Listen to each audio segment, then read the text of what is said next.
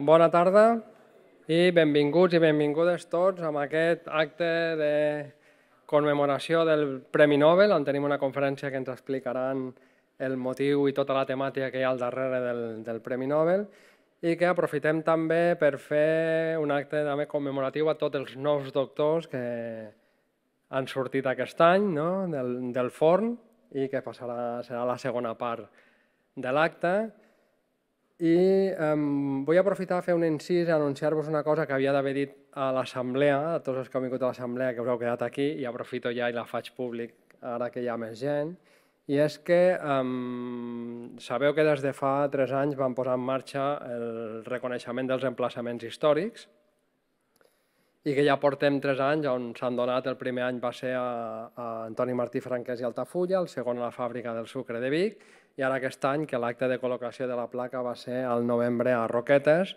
que va ser el Laboratori Químic de l'Ebre, que és la llavor de, de l'IQS. Doncs bé, um, això és el programa que tenim nosaltres a nivell de territoris de parla catalana i el que vam fer és presentar la candidatura del primer emplaçament històric, que va ser Antoni Martí Franquès, a els premis que atorga l'Euquems i ens l'han donat. Vale? Llavors vull fer públic de que eh, la candidatura d'Antoni Martí Franquès i Altafulla hi haurà, ara estem en converses amb l'Euquems i vindran els representants de l'Euquems i tal i farem la inauguració segurament durant la primavera del, de l'any que ve. Llavors volia fer públic, compartir amb tots vosaltres que tenim justament, que estem molt contents de que el programa que vam posar en marxa fa tres anys va recollint ja els seus fruts inclús a, a Europa. Dit això, que ho havia d'haver inclòs abans al, a, a l'assemblea, però que bueno, ara així arriba més gent, perquè ara estem bastant més gent que abans. De fet, és un goig veure la sala amb, amb tanta gent. Passaré a introduir el eh, conferenciant d'avui, que és el professor eh, Emilio Palomares, que és el que ens farà la conferència del Nobel. I bueno, l'Emilio és, si la, la, la introducció podria ser molt curta, podem dir que és el director de l'ICIC, el director de l'Institut d'Investigació Català d'Investigació Química i crec que amb això ja podríem tirar pel dret, però bueno, em permetré donar alguns detalls del, del, seu, del seu currículum.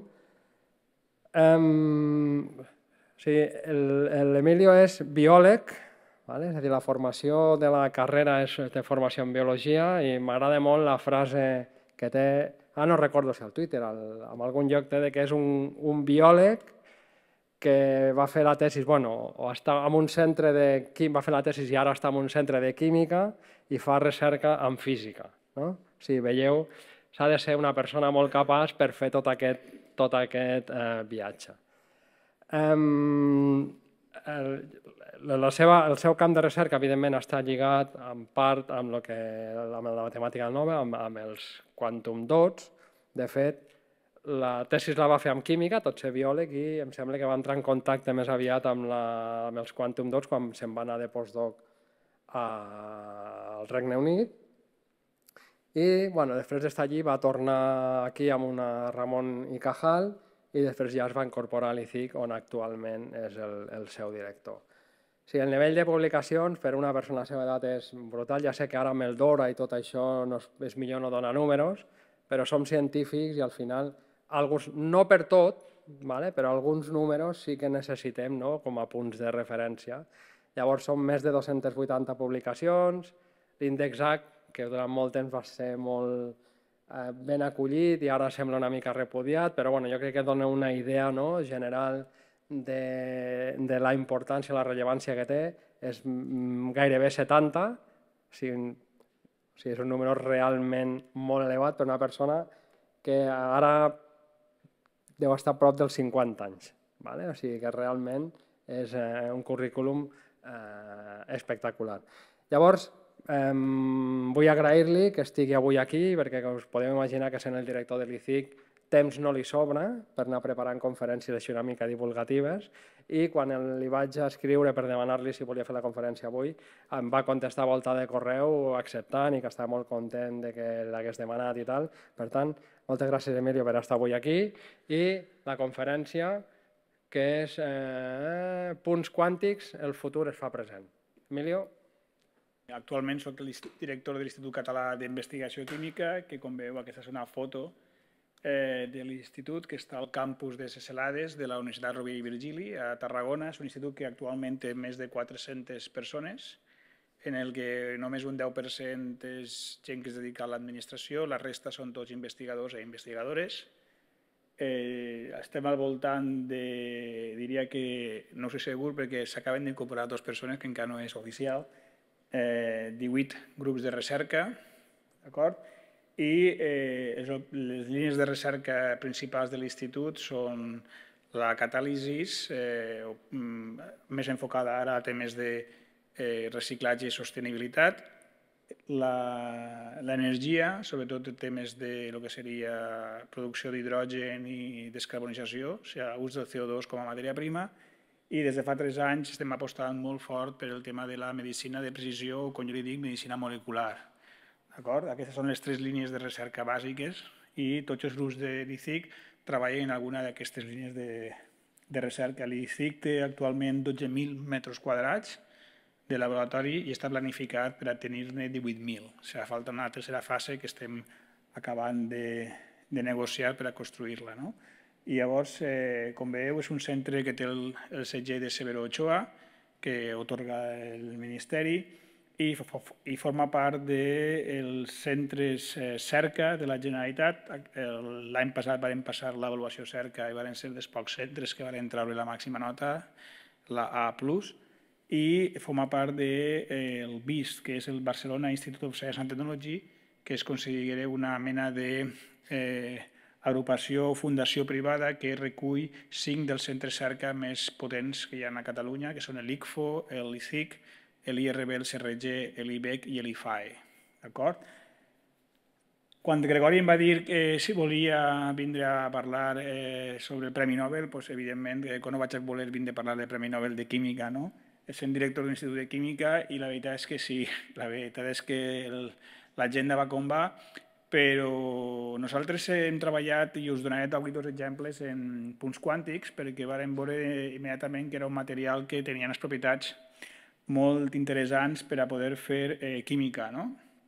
I, eh, I jo estic content de que, de que s'hagi donat el, el Premi Nobel als punts quàntics perquè, com sol passar en la majoria de Premi Nobel, eh, només es dona a tres persones, però hi ha hagut molta gent eh, molt important implicada en el desenvolupament dels quantum dots o dels punts quàntics per aplicacions tant en química com en medicina com en física i malauradament no tots ells poden rebre el Premi Nobel però jo crec que els tres que van ser eh, guardonats, la veritat és que s'ho mereixien perquè són realment impulsors no?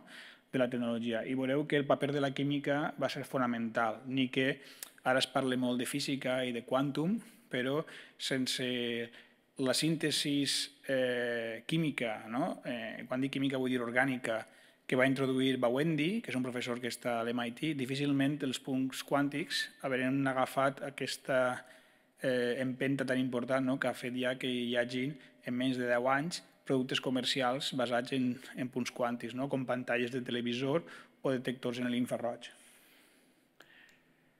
bueno, això suposa que ja ho heu vist. Aquestes són les tres, eh, les tres caricatures o la manera en què té eh, l'Acadèmia la, Sueca de, de publicar els Premis Nobel. Eh, S'ha donat en guany a Bawendi, que és d'origen francès, però fet, eh, és conegut perquè és el director de l'Institut de Nanotecnologia en, en l'MIT, Louis Bruce, eh, que actualment està, estava, suposo que ja no està eh, jubilat, i Alexei Yekimov, que torna a, a Rússia, i com es contarà una mica, eh, pues, tots tres estan relacionats perquè Dos d'ells varen veure les propietats dels punts quàntics, però jo crec que realment el que va impulsar d'una forma eh, definitiva eh, l'ús dels punts quàntics de, a, tot el, a, to, a tothom no? que estava interessat en les propietats físiques i químiques va ser Bawendi, i jo crec que si hi haguera una quarta persona que es mereixeria estar aquí és Paul Alivisatos, que dirigeix un laboratori a Berkeley, perquè va ser capaç de per a mi és aquell que ha pogut jugar amb els nanocristalls i donar-los diferents formes i també veureu que la forma del nanocristall li dona les seves propietats físiques. Llavors és una llàstima que bueno, els suecs al final posen les regles i eh, només n'hi ha eh, tres. dels premis. Això ja passa amb supramolecular, on, per exemple, els investigadors italians van quedar fora de, de les molecular machines, quan el terme molecular machine va ser acunyat justament per el, per el que era en aquella època el director del centre de, de Bolònia de, de Química.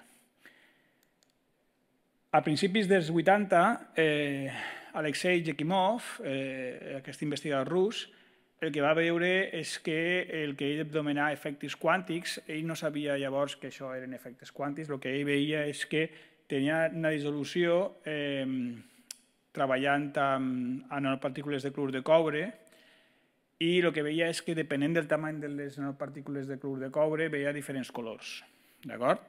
I eh, llavors eh, ell, que era més físic que químic, això ho atribuïa a que l'energia estava d'alguna forma quantitzada. ¿vale? Però eh, costava molt eh, reproduir aquests resultats. Eh, la veritat és que estava en un niche molt de físics i el Louis Bruce va ser el primer científic al món en demostrar que efectivament aquestes observacions d'Alexei Yekimov eh, eren efectes quàntics i que depenien de la mida de la partícula i que, a més a més, el que va fer ell és que ja no te feia falta confinar-les dintre d'un cristall, sinó que es podia també observar en la dissolució. Per tant, ja s'havia donat un pas important perquè quan les coses es poden fer en dissolució ja tot és molt més senzill, ja n'hi ha més investigadors que poden fer-ho. Eh, com us dia, va ser fins al 93 i mireu que no fa tant de temps, eh? pareix que el Premi Nobel de Quantum Dots s'hagi portat treballant en Quantum Dots tota la vida, però eh, va ser al 80, o sigui, jo entonces tindria 6 anys, i no va ser fins al 93, eh, que jo segurament estava acabant o començant la tesi doctoral, no va ser fins que el Bawendi va trobar una forma de, com dic jo, democratitzar l'ús dels quantum dots, que tothom poguera fer quantum dots al laboratori de diferents materials. No? I això bueno, eh, ha fet que eh, avui en dia pues, eh, siga una de les àrees i suposa que arran de, també del Premi Nobel pues, eh, tornarà a ressorgir molta més recerca en, en, en quantum dots. Què és el que passa quan eh, mirem un, un material o una molècula? Bueno, aquí ho he fet d'una manera molt esquemàtica, veureu que la xerrada és molt senzilla, és molt, molt divulgativa, i eh, a les molècules nosaltres normalment parlem d'orbitals moleculars. Els químics orgànics parlem d'orbitals moleculars, de i lumos, no? i la distribució d'electrons i aquests espins en aquests homos i lumos, i això és correcte. I, I a voltes el que ens trobem és que quan un químic orgànic llegeix un article de física, llavors li canvien lo de homo i lumo per, per band gap, no? i per banda de conducció, banda de valència, és com Aquí, aquí què passa, no? És a dir, bueno, eh, nosaltres que treballem en la frontera entre la física i la química, com dia Gregori, nosaltres, jo vaig fer, jo soc biòleg, bioquímic, vaig fer la tesis en química, però ja eh, el que vaig trobar és que me divertia molt treballar amb làsers i en materials i més la física que la química. Llavors, eh, nosaltres eh, que estem a la frontera el que fem és eh, al homo li diem banda de valència i al lumo li diem banda de conducció.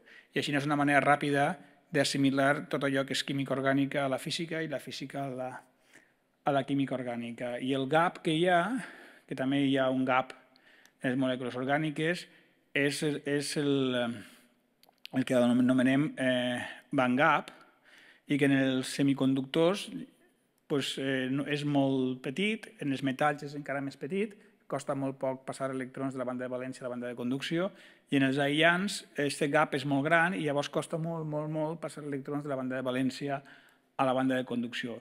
En els quantum el que ocorre és una barreja de la molècula i el semiconductor. Tens eh, estats d'energia que estan eh, discretament organitzats. I a més a més, tens aquesta peculiaritat i és que eh, a diferència del que ocorre en les molècules i en els, i en els semiconductors inorgànics, jugant amb la temperatura podries fer passar els electrons de la banda del homo al lumo o de la banda de conducció a la banda de valència, però amb els quantum 2 això no és necessari. I no és necessari perquè pots controlar aquests moviments amb el tamany de la partícula. I això és clau perquè només ho poden fer els quantum dots. I això és una de les propietats més importants que tenen aquests materials. Llavors, això és una mica el que veus a una molècula, que són els diferents nivells eh, energètics i quan tu fas, un, un, per exemple, un espectre de fluorescència a baixa temperatura, pots medir la diferència d'energia que hi ha entre els pics, que es correspon a aquesta diferència d'energia que hi ha entre els orbitals.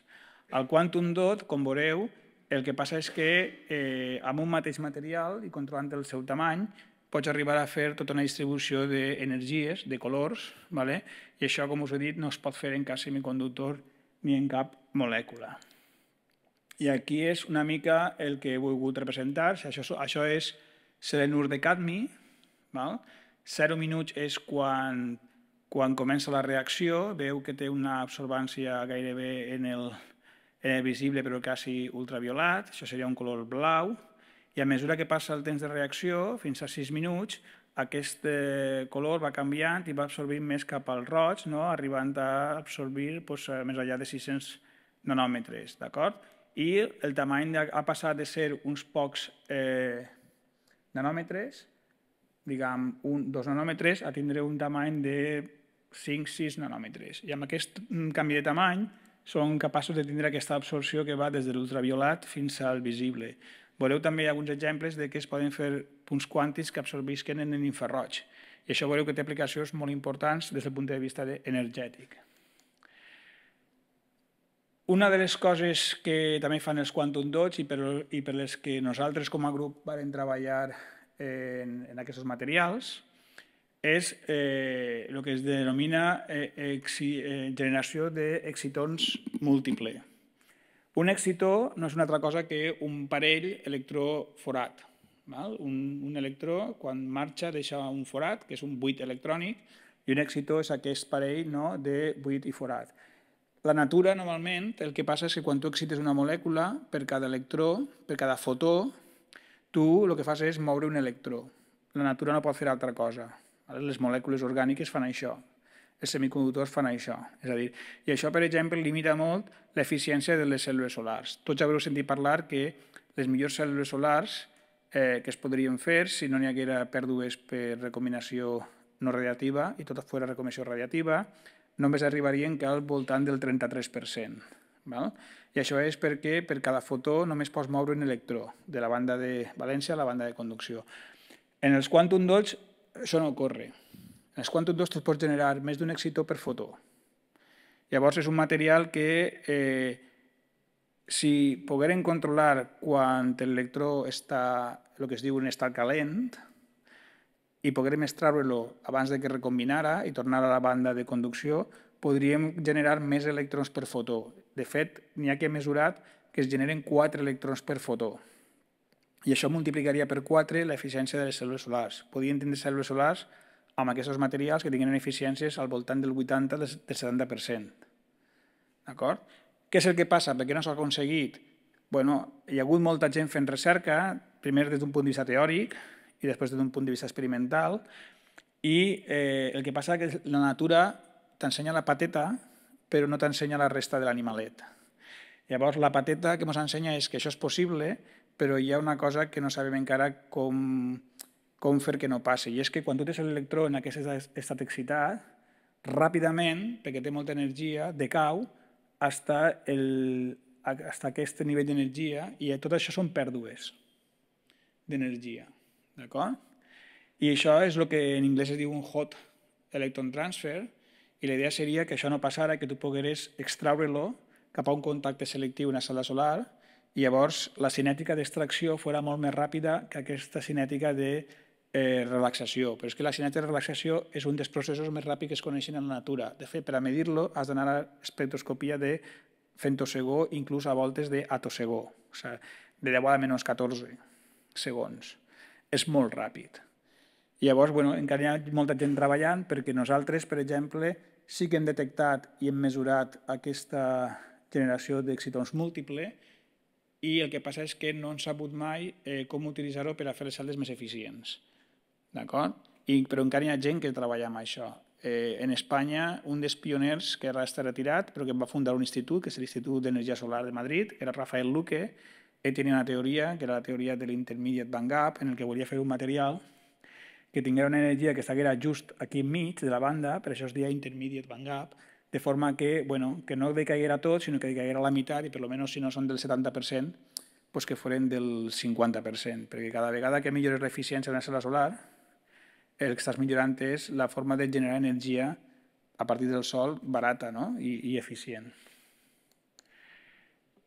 Bé, com us dia, Bawendi va publicar en JAX, no penseu que tots els premis Nobel es publiquen en Nature i en Science, jo crec que això és un error que hem d'explicar a la gent que fa recerca, és a dir, aquests premis Nobel, si mireu la seva, la seva bibliografia, Bawendi no va publicar un Nature fins ja molts anys després de ser eh, director del centre. De fet, ell no té cap Nature sol, sempre són Nature en col·laboracions, i de fet el primer que va publicar crec que no va ser en Quantum Dots, va ser amb porfirines de platí per a fer ús del triplet de la porfirina de platí per a fer LEDs, vale? que és un altre de dispositius que aprofiten els Quantum Dots.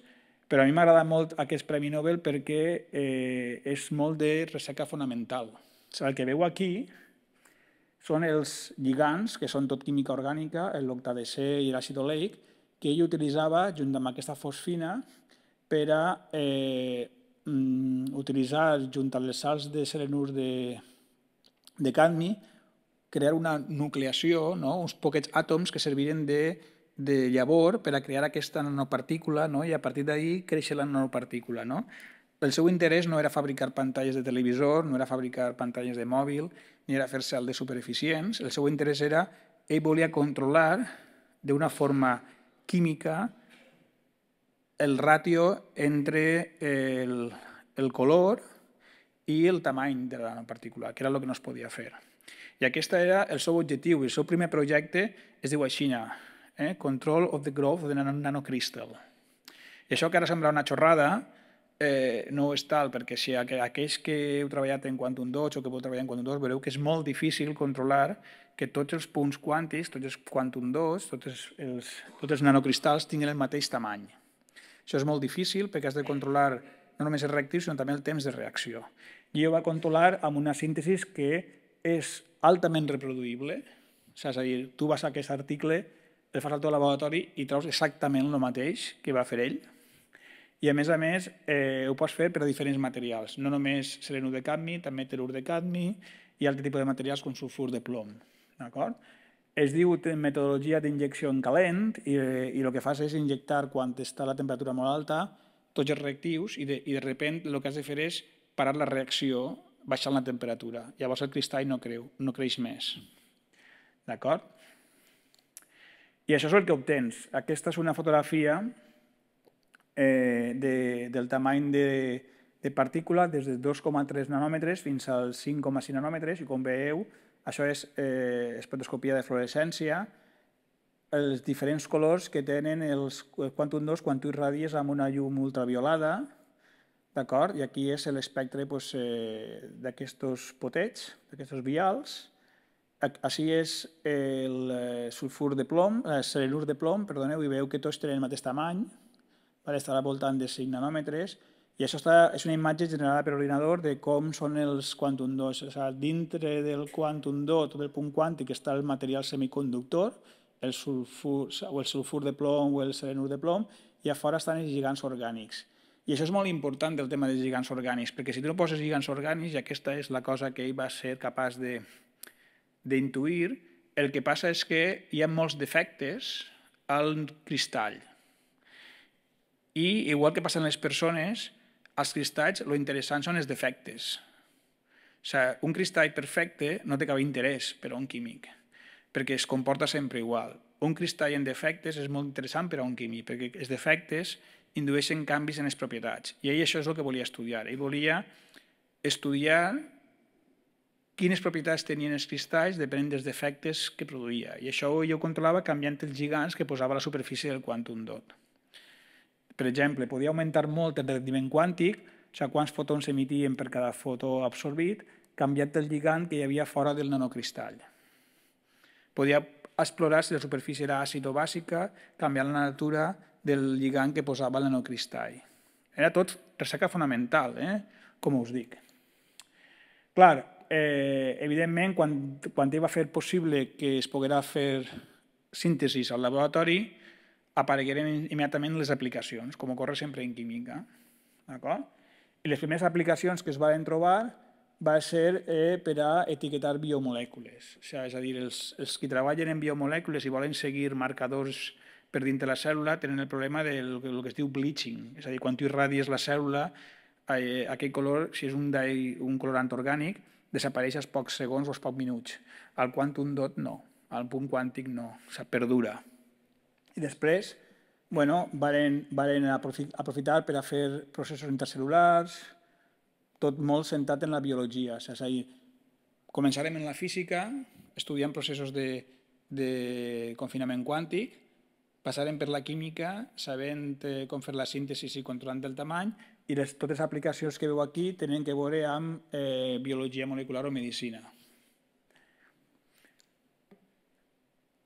Als Estats Units, una de les coses que passa ràpidament és que quan això comença a agafar un volum d'interès per part de les aplicacions, comencen a fer spin-offs. No? I aquestes, eh, us, us, comentaré, són moltes spin-offs que van néixer i totes elles, la base és eh, aquesta nanotecnologia de punts quàntics. I totes elles veureu que eh, s'han centrat en estudis per a medicina. Nosaltres també. L'exemple del que us parlaré de la medicina està fet a l'ICIC, també utilitzant eh, quàntums dots. Una de les malalties que no tenen cura, i per això és molt important detectar-la el més aviat possible, és la fibrosi cística. No té cura i, a més a més, els pacients solen viure, eh, si no detectes eh, ràpidament només nàixer, solen viure molts pocs eh, anys i si ho detectes, pocs d'ells arriben a viure més enllà de 50 o de 60 anys. Val? Eh, això és degut a una enfermetat eh, que és genètica i que té a veure eh, amb un defecte en el, en el gen eh, de caràcter recessiu. És a dir, hi ha persones que són portadores i no ho saben, i quan es casen una altra persona que és portadora, tenen un 25% de possibilitats de que un dels fills tinga eh, aquest gen recessiu, siga homozigòtic, i per tant tinga aquesta enfermetat. El que passa és que difícilment ho poden passar perquè moren. Eh? Llavors és una enfermedad de, de les que es diuen enfermedats rares i el que passa és bàsicament que hi ha una mutació que el que controla és aquell canal per on estan els ions eh, clor. Eh, això el que fa, des del punt de vista químic, és que eh, per a detectar-ho busques els nivells de secreció d'enzims proteolítics, per exemple la tripsina. Una manera ràpida de saber si pateixes o no pateixes la enfermetat és mesurar la sang, a tot, eh, perdoneu, la sang, la, la suor, a tots els que estem aquí, no ens en recordarem perquè érem molt petits, però quan van néixer, als pocs mesos, es fan la prova del, de la suor. I el que fan és t'envolten eh, la pell amb un, amb un plàstic i col·leccionen eh, la, la suor que hi ha i creu-me que això us ho han fet a tots, eh? i si teniu fills alguna volta també s'ho faran a l'hospital i el que miren és la quantitat de clorur de sodi que hi ha i si està dintre dels rangs normals, llavors res, si n'hi ha una anomalia, llavors comencen a preocupar-se i el que fan és mirar, el següent pas és mirar la, la concentració de tripsina. Si és molt baixa, llavors ja comencen a preocupar-se de veritat i el que fan és un anàlisi genètic. ¿vale? I eh, el, el test més, més, més normal i diguem més barat és la mesura del clor a la suor. És barat, és fàcil de mesurar i ràpid. Està implementat a Catalunya i a qualsevol hospital a l'estat espanyol. Jo diria que és una cosa a nivell internacional. Val? El problema és que hi ha un 2% de falsos positius, és a dir, allò que el dona més, més alt de lo normal i llavors descanar fer el test de la tripsina i això ja és més car. Estan els immunossats, vale? que és el que dic, quan això falla o tens, o tens eh, dubtes, vas a l'immunoassaig, que el que fa és quantificar la quantitat de, de tripsina. Això és reproduïble, és fàcil de mesurar, també té un, alt, també té un nombre alt eh, de falsos de positius, perquè la fluorescència és una tècnica molt, molt sensible, és invasiu i a més, a més és lent. O sigui, has d'esperar-te mesos per a saber els resultats, la qual cosa doncs, als pares doncs, no fa gràcia estar esperant per saber si el fill té una enfermedad quan el diuen que el més ràpid possible que pugues eh, posar-te a treballar en ella, més, més temps viurà. Eh? I el que està imposant-se, però té molts problemes des del punt de vista de ètics, vale? és l'anàlisi genètic, vale? perquè han de fer una seqüenciació genètica i ahir, evidentment, surt tot. Vale? Surt, per exemple, si eh, tens algun tipus de gent que pot eh, esdevindre un oncogen i, per tant, ara hi ha asseguradores als Estats Units que si te fas un test genètic i veuen que pots patir un càncer en els propers 15 anys, doncs no t'asseguren o te demanen una, molts diners per assegurar-te. Eh? Llavors, bueno, és lent invasiu i és car. Us presento algunes de les opcions. No? És el test de Perkin-Elmer, que es diu Delphia Neonatal, Vale? Anirem molt ràpid. Aquest és un, és un test, eh, i després us diré per què us presento aquestes companyies. És un test que està dissenyat per, per Quinelber basat en fluorescència amb tripsina per a detectar eh, fibrosi cística. És car no, és el següent, és caríssim, vale? però, però existeix comercialment. Una altra companyia es diu BioVision, també eh, basat en, en eh, tripsina i, i en lipasa, també té un assaig, en aquest cas no és fluoromètric, però és colorimètric, i esteu veient que el, el preu eh, per a fer 100 assajos està al voltant de 300 eh, euro, eh, dòlars, que més o menys seria 300 euros. E Imagineu-vos si això ho tens que fer a cada, a cada nadó que naix en cada hospital que hi ha a Catalunya o a estat espanyol, és a dir, és, és, és, és molt car, Aquí és una, una altra companyia, Luminex, que el que fa és eh, treballar en seqüenciació de, del genòmica vale? i després utilitza una mena d'hibridació. Vale? Aquesta és molt segura, però, però és molt, molt, molt, molt cara. I eh, després estan els mètodes ELISA, que funcionen en anticosos, que és el més segur perquè no dona errors, però eh, també és molt car. Llavors, bueno, el que us deia, l'anàlisi genètic, que en aquells països on les normes ètiques pues, no, no són una barrera, pues, eh, és el que està imposant-se no? a nivell de, de, de mercat, perquè ahir, ahir surt tot. Nosaltres, eh, un dels projectes que varen començar a treballar quan treballàvem en punts quàntics, i aquí va ser la idea d'un dels investigadors postdoctorals que tenia en aquell entonces, que venia de la Xina, nosaltres treballàvem en punts quàntics buscant millorar l'eficiència de les cel·les fotovoltaiques, que serà l'altre exemple que, que us pose. Va dir, escolta, eh, si és tan important en temes de medicina, una de les coses que jo feia durant la meva tesi doctoral era fer, eh, digués, eh, peix de ceba de sílica. I ell el que feia era, bàsicament, agafava els nanocristalls i els envoltava d'una pell de ceba de sílica, vale? però amb la gràcia de que eh, podies anar posant capes i capes i capes i no tenies per què posar els mateixos quantum dos, podies ficar-los que tinguin colors diferents. Llavors podies crear un còdic de diferents colors i eh, amb això eh, ja, havia, ja hi havia gent que havia treballat fent codis d'aquests colors per a fer quantum computing, coses així, el que se'ls va ocorrir, que de fet és la, la, jo crec que és la idea brillant, és que eh, podien fer un assaig que fos ratiomètric. És a dir, podien ficar uns quantum dots al mig de forma que la intensitat de la seva senyal no canviarà mai i llavors podrem mesurar exactament i ser bueno, com, una, com, una, com si tingués una regla. És a dir, en més de medir en centímetres, medir la diferència que hi ha d'intensitat entre pics. Perquè si aquest pic no canvia mai d'intensitat, doncs sempre podem tenir-lo com a referència. És una referència interna dintre d'un sistema de fluorescència a mi em va semblar que era una idea collonant, ¿vale? perquè la, normalment la majoria de casos positius falsos venia perquè no era ratiomètric. ¿vale? Tu podies dir si tenia més o menys fluorescència, però no podies dir quanta menys o quanta més fluorescència. Llavors la idea era, bueno, si fiquem, excitem en llum, fem un procés que es diu transferència d'energia, per a que això passi, la luminescència del quantum dot 1 ha de solapar l'absorbància del quantum dot 2 i el que medim és la llum del segon quantum dot. I llavors, eh, els quantum dots 1 sempre tindran la mateixa intensitat i, per tant, ens servirà de referència. I com, bueno, jo, a mi el que m'agrada és la física i, i aquest és un procés que el tinc molt estudiat per el tema de cel·les fotovoltaiques i també sistemes biològics, doncs va aparèixer que era una idea bona.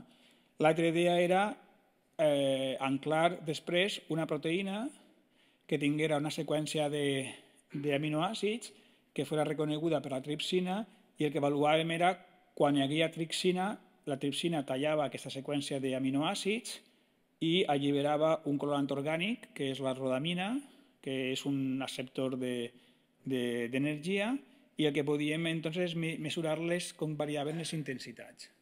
I això, és a dir, era com tindre una regla molecular de l'activitat de l'enzim per a aquells pacients que tingueren eh, fibrosi cística. Això a nivell de laboratori funcionava de forma acollonant, és a dir, nosaltres agradàvem tripsina d'Aldrich i posàvem diferents quantitats de tripsina i teníem les típiques cinètiques de Michaelis Menten per enzims, això s'estudia en la carrera de bioquímica, no sé si algú ha fet bioquímica, però si no, Michaelis Menten, eh?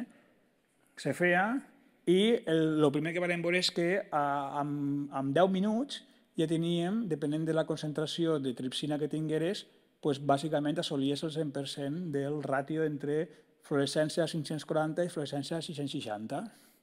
Això es permetia fer una recta de diferents concentracions de tripsina i el més interessant era que podíem mesurar per baix de 50 micrograms litre, això estaríem parlant de parts per milió, o sigui, parts per milió, 10 a la menys 6, ppm serien 10 a la menys 3, vale? i eh, per al cas de gent que tinguera el gen homocigòtic recessiu, o sigui, que, fora, que tinguera l'enfermetat, va de 0 a 100 micrograms litres. O sigui, tindríem aquí una recta on podríem tindre gent que tinguera el gen recessiu, gent que tinguera el, el gen recessiu i l'homocigòtic, però que tinguera una vida normal, i gent que tinguera els dos alens del gen normal.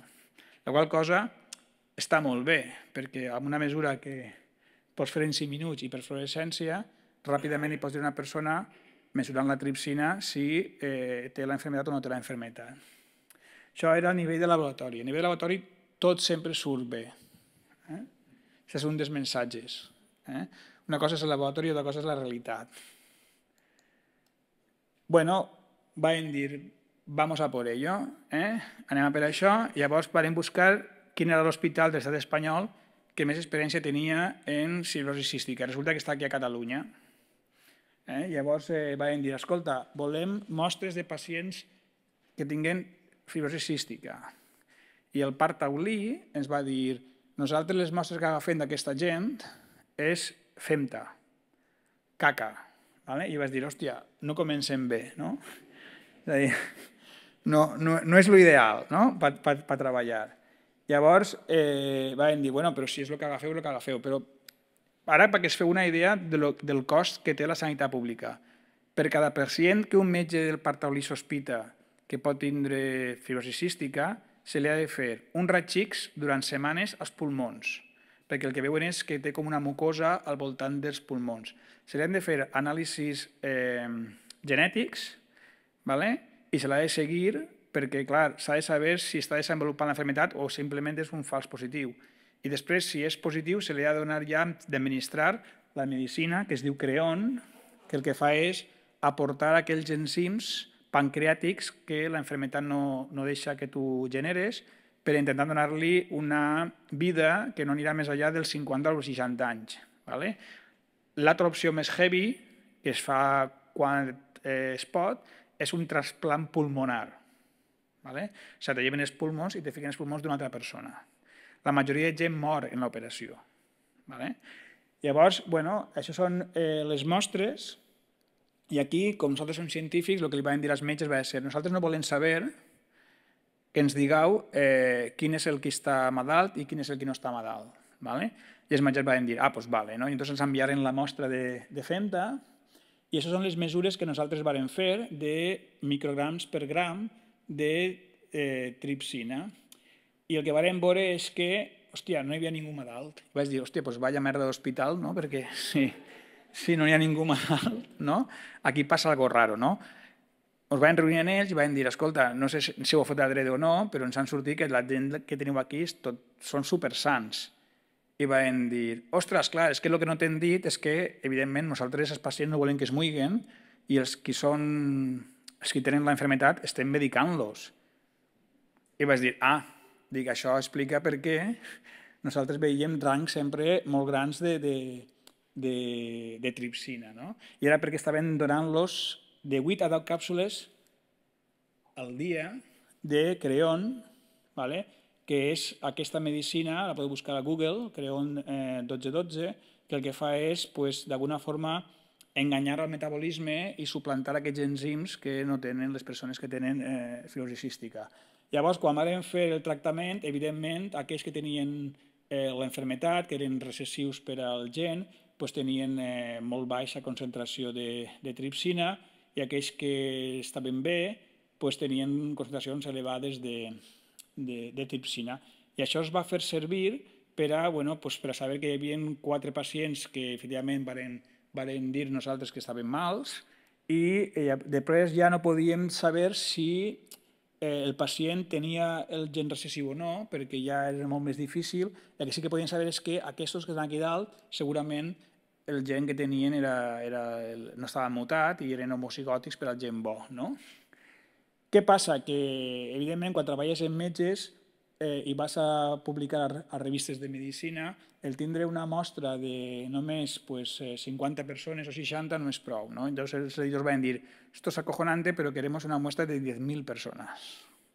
Clar, eh, clava tu 10.000 merdes en l'ICIC, eh, impossible. Eh? No, no, no és l'objectiu de l'ICIC. Eh? És a dir, eh, i bueno, es queda ahí. Eh? Es queda ahí perquè, evidentment, com us he demostrat abans, hi han companyies que ja tenen productes. Tan pront nosaltres vam publicar això a la revista, van vindre totes les companyies i el que volien era, evidentment, comprar la patent. Però no per explotar-la elles, era perquè el que estàvem comprant és una tecnologia competidora. Llavors nosaltres bueno, eh, es van trobar que, primer, que, que això realment eh, no millorava el test de la suor, és la realitat, i l'altra realitat és que no hi ha res millor que un test genètic perquè és infal·lible. El problema del test genètic és l'ètica. És a dir, la companyia ha d'assegurar-te eh, que només revelarà allò que tu vols saber del teu genoma, que en aquest cas és si tens mm, el gen i vas a casar-te amb algú que en la seva família ha tingut fibrosis tu el tens o no. Val? Llavors, eh, per això bueno, es queda sent un exemple de lo que és recerca bàsica en quantum dots aplicada a medicina, però que, com us dic, en el món real, eh, quan és un producte, hi ha companyies als que no els interessa que el teu producte surti. Eh? Ara teniu els cotxes elèctrics i els cotxes de combustió, eh? i veu que hi ha encara ahí eh, que si apareixeran, que si seguiran, i hi ha alguns que diuen que, que han de seguir, altres que no. És, és més complicat que el món acadèmic on tens bons resultats i intentes publicar-los i ja està. Els avantatges, bueno, el que us he comentat, d'acord? I, bueno, això és el procés, vam patentar el 2013, el 2014 es va fer la patent internacional, va entrar en fase 2015, vam fer el, eh, un anàlisi positiu, però va morir ahir, d'acord? Va morir ahir perquè el món real és dur. Eh? O sigui, passar del, del laboratori al, al món real és, és, és, és complicat. Bé, l'altre exemple que us posar és cèl·lules solars invisibles. O sigui, jo, és a dir, una de les coses que sempre he pensat és la majoria d'edificis tenen finestres i aquestes finestres no fan res, només permeten que tu puguis veure el que hi ha fora. Ara imagineu-se que totes les finestres que hi tenen els edificis foren celdes fotovoltaiques. I no cal que siguin molt eficients, no cal que estiguem parlant de celdes del 33%. Imagineu que, que foren celdes que tinguin una eficiència del 5 o 6%. D'acord? Tindríem edificis que serien totalment sostenibles, perquè un edifici com la Torre Akbar, on tots són finestres, imagineu-vos que podria produir el suficient, la suficient energia com per alimentar, per exemple, tot el sistema de calefacció o refrigeració. O sigui, no és una tonteria eh? el pensar que és possible fer finestres transparents, que siguin celdes fotovoltaiques. Quin és el problema? Bueno, pues que no és fàcil. O sigui, tecnològicament, fer un material que siga transparent no és fàcil i a més ha de ser fotovoltaic. Per a fer això necessites dues coses. Necessites un material que siga semiconductor i necessites que siga eh, transparent. I, I transparent significa, no sé si ho heu vist ara l'anunci de Xina, que ha fet la primera, el primer material eh, que tu el fiques davant d'una cosa i fa que la cosa desaparega. No és que desaparega, és que juga amb les reflexions de la llum i és un, és un material que es diu meta, i eh, els quantum dots de sulfur de plom absorbeixen l'infraroig. Llavors tu veus que allò és transparent, però està absorbint tota la llum infrarroja. O sigui, és a dir, tu pots veure a través, però això està absorbint tota l'energia que ve de la llum del sol. Aquesta idea eh, nosaltres la vam publicar l'any 2000, eh, 10, Bauendi immediatament va publicar que va ser un Nature, un Nature Materials on va millorar per molt tot el que nosaltres havíem fet, ¿vale? però això ens va dir a nosaltres que anàvem en la línia correcta. Quan algú que rep el Premi Nobel eh, es fixa en el que tu fas, vol dir que estàs fent-ho bé. Val? I la idea d'aquesta era eh, pues, bueno, fer síntesis de sulfur de plom que foren eh, molt eficients, arribar a un 3%, era el nostre objectiu, 5% màxim, d'acord?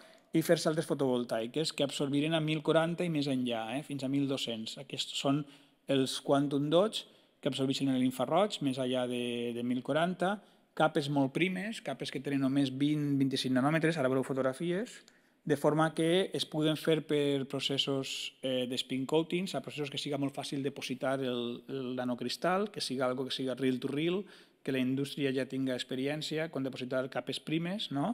de polímers. I aquest, és un tall vale, d'una imatge de microscopi electrònic. Veu que la capa de quantum dots és, això és el 50 nanòmetres, la capa de quantum dots té una grossària que no arriba als 20 nanòmetres. Si tu miraves la cel de fotovoltaica i era transparent.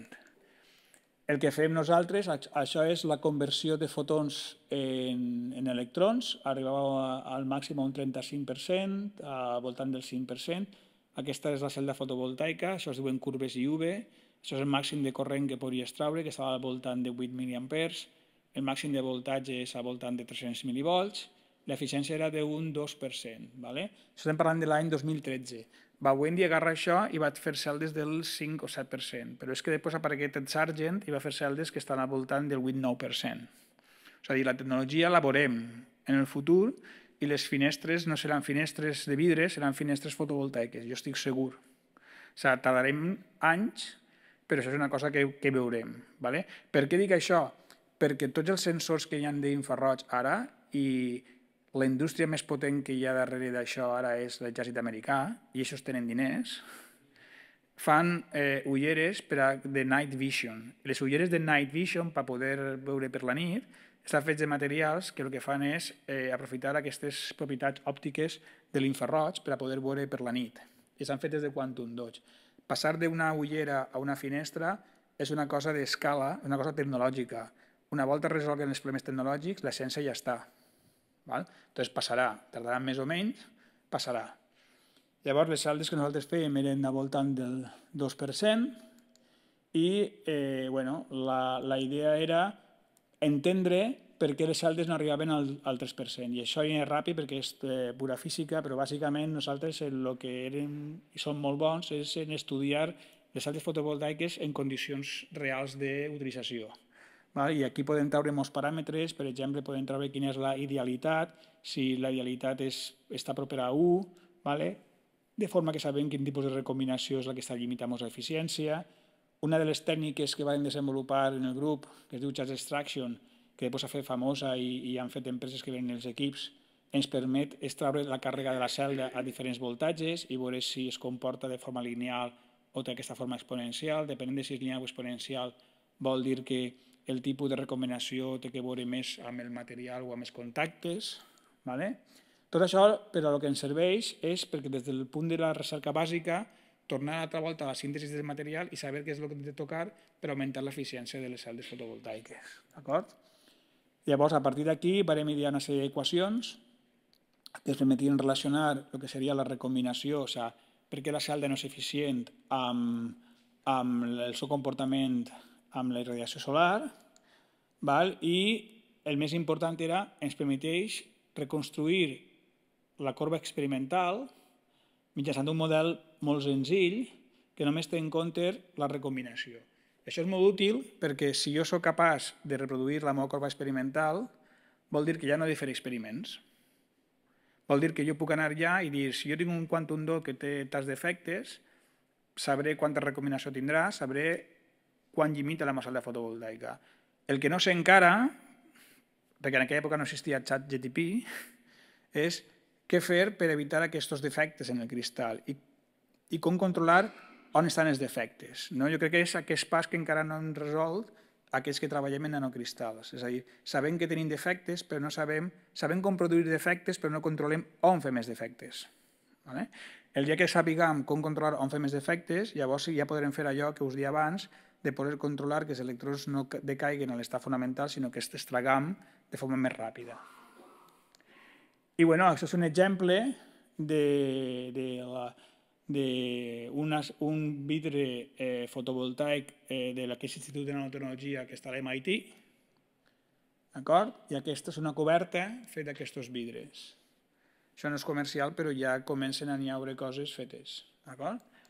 I, eh, bueno, això és, és per acabar. Eh, aquesta m'agrada molt perquè resumís molt bé eh, què ens enfrontem tots els que ens dediquem al tema de la recerca fonamental. No? És a dir, la recerca fonamental, eh, nosaltres el que busquem al final és recopilar experiments, intentar explicar-los amb tot allò que, que podem fer al laboratori, no sempre tenim raó, i això és part de la gràcia, que tu pots publicar una cosa pensant que allò està bé, i al cap dels anys algú te diu, escolta, això no està bé, simplement no tenies tota la informació i ara que tenim més informació sabem que això és així, val? però tenim aquí els nostres amics vale? que ho fan molt difícil. No?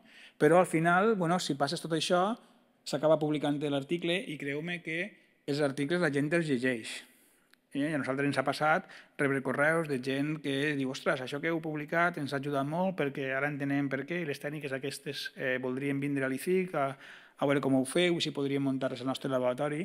Però bueno, no és un camí fàcil, però jo sempre dic que no hi ha res fàcil en aquesta vida i eh, si no n'hi haguera això de paper accepted, doncs llavors ningú es dedicaria a la ciència. El fet de que n'hi haga molta gent que passa per aquí i acaba soltant de paper ni que sigui amb algun tall o algun colp, fa que la cosa tinga, tinga gràcia.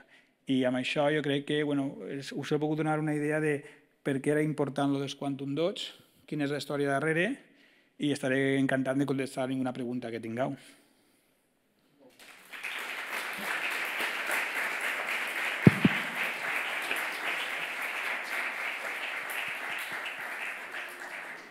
Molt bé, moltes gràcies Emilio per aquesta conferència, la visió general de la, més aviat de tota l'aplicació dels, dels quantum dots.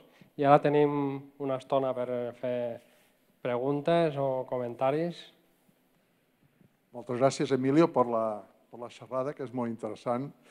Eh, jo, jo un dels problemes que trobo amb els, amb els que feu més aviat dispositius eh, moltes vegades us quedeu amb els productes que estan molt establerts. Per exemple, he vist que tenies el C60 aquí i el C60, clar, està per tot arreu, i el trobo fantàstic també, no? Però, per exemple, moltes vegades he preguntat, i no sé si és, vull dir, el C60 pot arribar a captar fins a 6 electrons, uh mhm. -huh. i jo m'he trobat moltes vegades preguntant sobre el C60, i no sé si... O sigui, el normal és que em diguin que no s'hi han pensat mai, eh? Eh? Però vull dir, quants electrons vosaltres esteu calculant que capta el C60 posat en aquestes capes? Sí, mm, bueno, el 60 es gastava, ara cada vegada es gasta menys perquè s'han trobat molècules que es diuen non-fullerene acceptors, són acceptors d'electrons que no són d'origen fullerènic, i el problema del 60 és que sí que capta 6 electrons, però això és quan tu vas aplicant-li potencial creixent, és a dir, és capaç d'anar acceptant electrons perquè tu vas, tu vas augmentant-li el potencial no? mentre fa la voltametria cíclica. El que passa realment a un, a un dispositiu és que el C60 actua bàsicament eh, només com a contracte selectiu. Només agafa un electró, l'extrau vale? i només n'agafa un. És a dir, no acumula electrons, no és un acumulador. Si fos un acumulador, segurament s'utilitzaria en bateries. És a dir, el fet de que tu pugues eh, mm, depositar en el 66 electrons és només quan tu apliques potencials molt alts. En les sales fotovoltaiques, bàsicament, el potencial no és igual que un potenciostat. El potencial ve donat per la diferència que n'hi ha entre nivells de Fermi entre un material semiconductor i l'altre. I aquesta diferència, que és un potencial químic, vale? eh, és el que el dona el voltatge. En les celdes de sulfur de plom, com el band gap del semiconductor és molt petit, el voltatge màxim que pots treure és 0,3. Vale? En altres cel·les, que ara estan molt de moda, que són les perosquites, que són materials que tenen band gap petit però són materials híbrids, els voltatges que pots treure com a molt és un volt eh, com a dos. Llavors, és veritat que com a contracte selectiu per extraure electrons, el C60 funciona molt bé. El que, el que no funciona molt bé, és a dir, és com a eh, pou on tu pugues ficar electrons i treure-los quan tu vulguis. Vale? No funciona així, només que és aquesta diferència. Tu sí que pots ficar 6 electrons si vas augmentant el potencial de forma gradual i pots reduir-lo, pots tornar darrere i anar buidant-lo. Però un dispositiu, tan pront tu formes l'electró, l'agafa i l'extrau, l'agafa i l'extrau, l'agafa i l'extrau, no acumula. De fet, el que volem és que no acumulen, el que volem és que les traga el més ràpid possible. Saps? Aquesta és la cosa.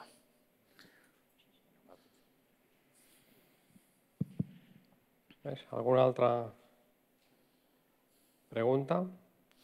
Jo, per, per acalmar-vos, veureu que la majoria de quantum 2 que he parlat avui estan fets de materials tòxics, eh? selenur de cadmi, sulfur de plom. Eh, els que n'hi ha a les pantalles de televisor, perquè hi ha una companyia que és LG, que té pantalles del el que es diu Quantum Technology, no són d'això, són de eh, Indie. ¿vale? El que passa és que, clar, aquests quantum dots, eh, l'indi és un material que no és abundant en la Terra, ¿vale? però no és tòxic.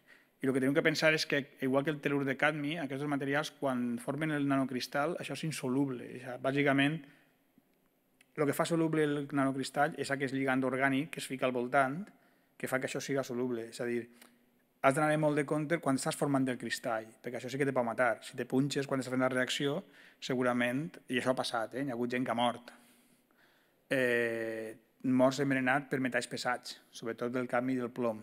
Una volta format el cristal, eh, això, si tu te ho veus, el més segur és que vaig a, a, i ho tires per l'orina. Eh? Per això se poden fer proves d'aquestes.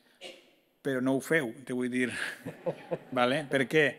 Perquè el que passa és que els lligants orgànics, amb el temps, acaben soltant-se del, del material inorgànic i a no ser que s'oxide, llavors sí que es torna insoluble, això acaba sent degradat per les bactèries dels, del sou i acaba convertint-se en, en un òrgano metàl·lic, que pot ser organoselenur, organoplom, i això és terrible. Eh? Això passa de la pell a la sang en, en 0, eh? Això és l'única desventatge que tenen els punts quàntics, que estan fets de materials que contenen elements tòxics. Per això molta gent prefereix els colorants. Jo tinc una pregunta que no sé si ho he, ho he entès del tot bé, però o sigui, la, la idea dels quantum 2, que és millorar aquesta eficiència fent més excitons, s'ha pogut o s'ha provat controlar la temperatura i fer alguna semblant al TADF, que també està enfocat a millorar aquesta eficiència? Sí, a veure, el, això ve perquè en unes mesures... Eh, això ve perquè, perquè un dels que tampoc està en el Premi Nobel, que és Víctor Klimov, va demostrar en Los Alamos que ell excitava un làser i era capaç de generar 4 o 5 electrons. No?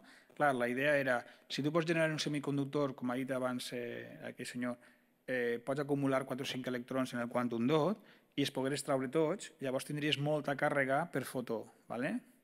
I eh, el que passa és que la reacció que competeix contra això és mil vegades més ràpida. Val? Llavors, claro, tu hauries de fer que la teva reacció et pas traure fuera per almenys 100 vegades més ràpida que el que és la relaxació. I en això la gent treballa. Una, una de les idees és el que es diu phonon cooling, que això ja és física hardcore, que és intentar congelar el fonó. Perquè quan tu excites el material, el material, i això entrem ja en altra dimensió, eh? si tu excites el material, eh, el material es calenta, ¿vale? qualsevol material, també les molècules. Tu imagina't una molècula simple. Això normalment es treballa en molècules molt simples. Eh? Per exemple, pues, eh, el toluè. Vale? Imagina't el toluè, que és molt simple, eh? és un anell de 6 amb un metil. Tu, quan excites aquesta molècula amb un làser, allò es fica tot cachondo a vibrar, vale? però, però molt, eh? es calenta moltíssim, vibra, vibra molt. Aquestes vibracions vale? eh, fa que eh, el, aquest procés dure no res, atosegons. Vale? O sigui, això ha sigut el Premi Nobel de Física d'enguany. Vale? Això és molt difícil de mesurar, perquè has de mesurar coses que passen i no, no tens tècniques per a mesurar-ho, n'hi ha 4 o 5 en el món. Llavors, això es calenta tant que ràpidament el que vol, la, la natura el que vol és no vol més rotllos, vol que tot siga estable, rescarregat. Llavors, només tu calentes, en si vol tornar-se en l'estat fonamental i gelar-se. El que nosaltres no sabem encara com fer és, quan està calent, com evitar que això es gele extraient aquesta càrrega abans. ¿vale? I això jo crec que eh, bueno, encara no entenem prou sobre la quàntica de les molècules ¿vale? i la coherència quàntica, no? que és la gran, la gran desconeguda. És a dir, N'hi ha fenòmens que s'han observat, que es diuen coherència quàntica, i això donaria per una altra xerrada, i és que passen en la natura, i és que quan tu excites existeix una, una coherència entre orbitats moleculars, entre la molècula que dona l'electró i el que l'accepta. I això és necessari per a que aquest procés passi. I això no ho acabem d'entendre. No ho acabem d'entendre perquè no, encara no sabem mesurar-ho prou bé. De fet, hi ha articles d'Ato Segó que s'han tingut que retirar perquè el que estava mesurant era, era ruïdo. A mi m'ha passat. Jo he mesurat coses quan estava fent el postdoc que pensaven que eren senyals de làser i era un cotxe que passava per South Kensington. I tenia que anar a mesurar, això és veritat, eh? tenia que anar a mesurar per la nit quan sabia que n'hi havia menys cotxes passant per South Kensington, perquè les vibracions dels cotxes pel carrer en el meu sistema apareixien decaïments. Eh? És que és molt difícil, perquè estem parlant de coses que van més enllà de mesurar de a menys 20, de a menys 21 segons. Eh? Llavors, clar, és a dir, pareix, jo no he ficat, però puc ficar senyals que pareixen, pareixen soroll. Val? Però sí, jo crec que algun dia serem capaços. Bé, hi ha alguna pregunta més, i si no, doncs ja per seguir una mica amb l'horari, donem les gràcies a l'Emilio per la conferència i les preguntes.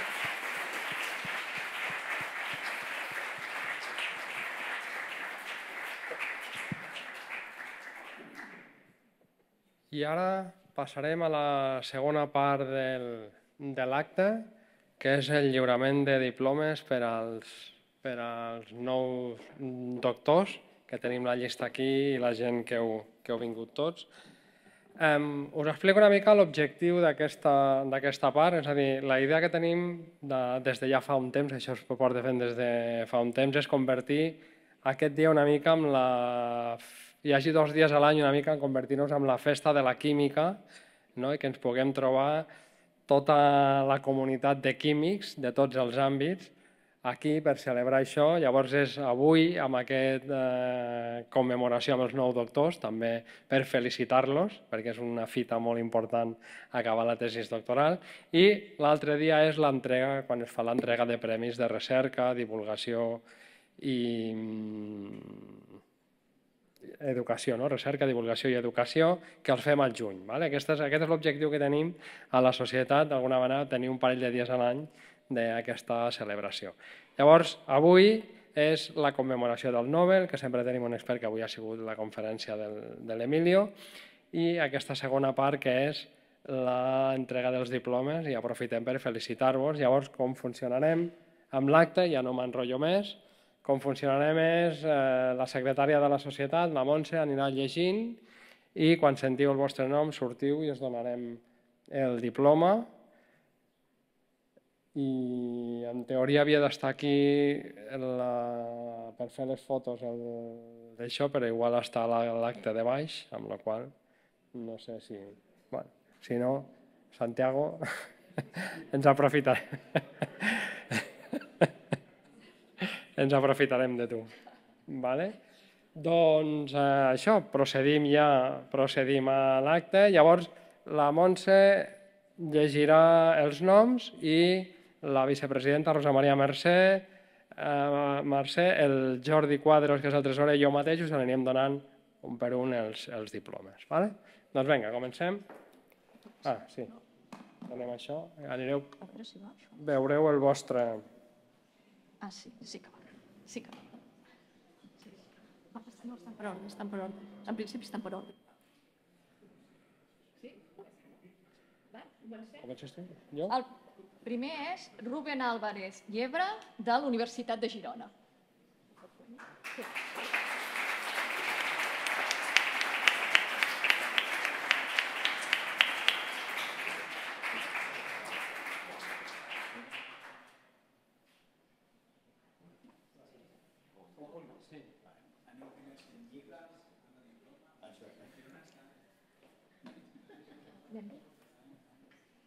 Ara és el torn d'Alejandro Borràs Caballero de l'Institut de Ciències del Material de Barcelona, CSIC.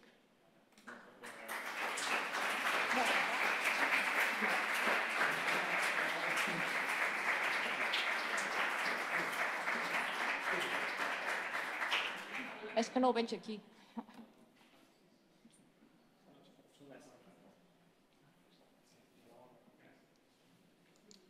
Ara sí, no? Ara, Àngel Campos Lentis, de l'Institut de Ciències del Materials de Barcelona, IMAC.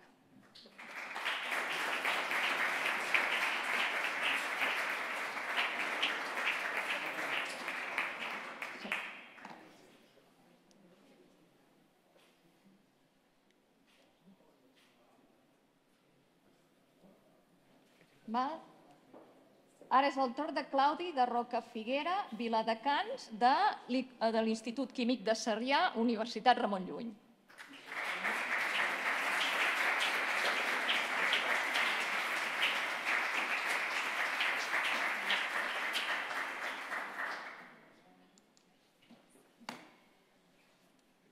Jesús Alejandro de Sousa Rodríguez, de la Universitat Autònoma de Barcelona.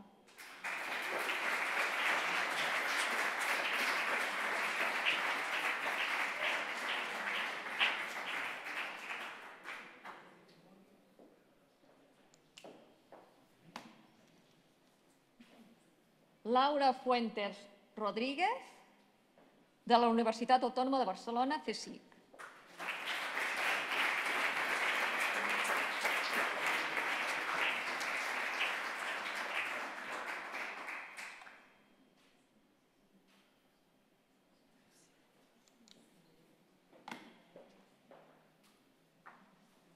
Alèria García Roca, de la Universitat Rovira i Virgili, IFIC.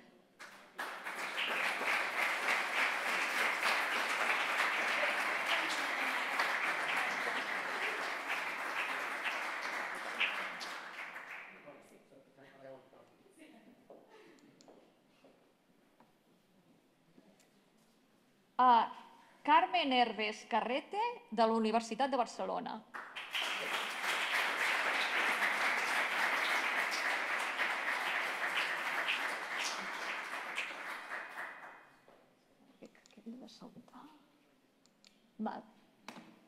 Marta Kubo- Kubovics, de la Universitat Autònoma de Barcelona.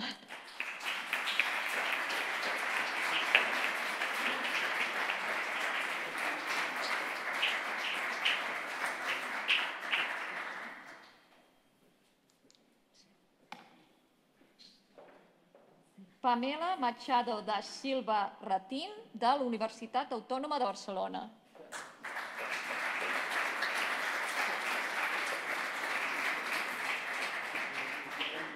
Eh? Ah, no hi és. Doncs aquesta no l'havia dit.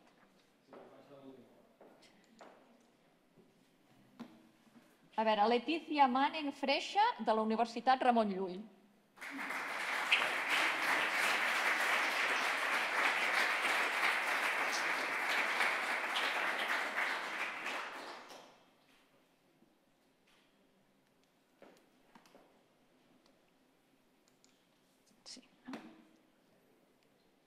Víctor Massit Barretxe, de la Universitat Ramon Llull.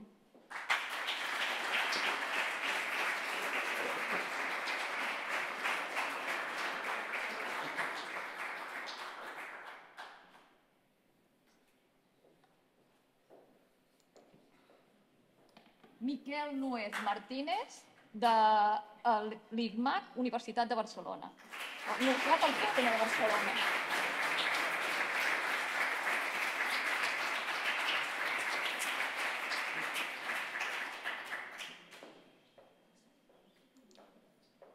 No, tant, no? No. Ja, l'havia tret, sí. Núria Oriols Pladevall, eh, de l'Universitat Politècnica de Catalunya.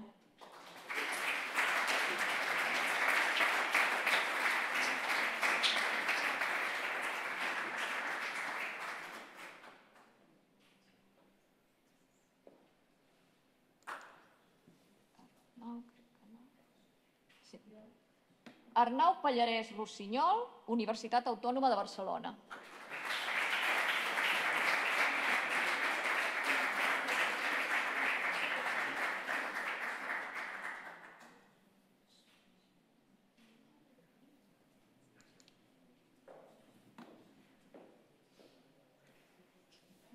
Míriam Carolina Pérez Cova, Universitat de Barcelona.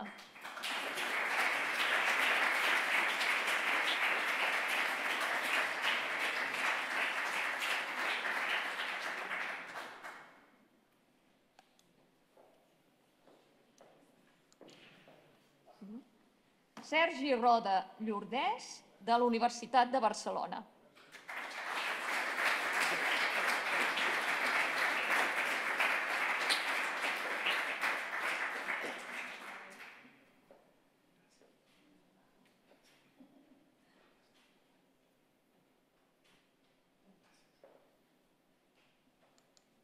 Va.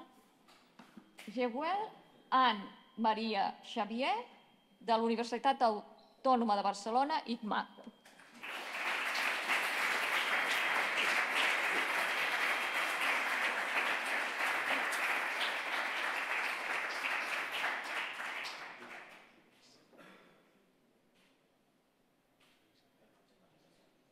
Va, I crec que no m'he deixat ningú, em sembla. No m'he deixat ningú, no? ja està. Doncs bueno, amb això ja arribem al final de l'acte aquest. Um, vull tornar a felicitar a tots els doctors que heu tingut el títol. M'he deixat de dir abans que des de la Ciutat Catalana, um, diguéssim, per aquesta fita, uh, us fem socis de la Ciutat Catalana exempts de pagament durant un any. Vale? Per tant, aprofiteu, heu de fer la inscripció igualment i tot, vale? us heu de fer les dades, no sé si ho heu fet ja o ho heu de fer encara, però ho heu de fer tot i l'únic és que aquest any no se us passarà el, el cobrament de la quota. Si ja éreu socis, aquest any se us cobrarà i si no éreu socis, us heu de fer socis i aquest any esteu, esteu exempts. Llavors, torno a repetir les felicitacions i les vull fer extensives a tots els directors i directores, perquè si bé el treball és vostre, evidentment, és el treball que heu fet vosaltres i que us ha costat molt, tots som conscients del que costa fer una tesis, però també hi ha uns directors que algo fan, no? Sí, algo fan, no? Llavors m'agradaria fer extensiva la felicitació també a tots els directors i a tots els centres de recerca, perquè com heu vist hi ha una representació diversa de tots els centres de recerca de, de Catalunya, amb la qual estem molt contents de la representativitat i de tota la ciència que es fa en aquest país. Hem vist abans coses que es feien a l'ICIC, però amb totes les universitats i els centres de recerca, la recerca que fem, tot i els recursos que tenim, és prou acceptable en general, per no dir prou bona. I sortim amb els índexs eh, generals, tant a nivell nacional com internacional, prou bé pels recursos que tenim. Llavors, crec que amb això ens hem de felicitar tots i amb això donem per acabat l'acte i ara estem tots convidats a una copa de cava, a baix i uns fruits secs de la terra, a baix al pati. O sigui, gràcies per vindre i fins al proper any, que espero que ens tornem a veure. Gràcies.